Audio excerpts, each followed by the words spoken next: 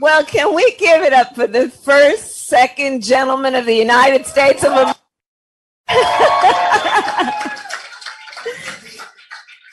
and I'm, I'm, go- you listen, let me just, I want to, I'm going to talk about my husband for a second. My husband, I love my husband. Um, but let me tell you, one of the things that has been so wonderful to see about who we are as Democrats and who Joe Biden is when he said, I know that a woman can be vice president, right? Is that with that came another history making event, which is there is now not a second lady, but a second gentleman.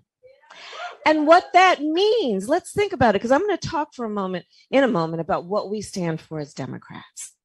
And a lot of what we stand for, if you want to step back and think about it, is as Joe Biden often says, the possibilities. We as Democrats have an ability to see what is possible, what can be, unburdened by what has been.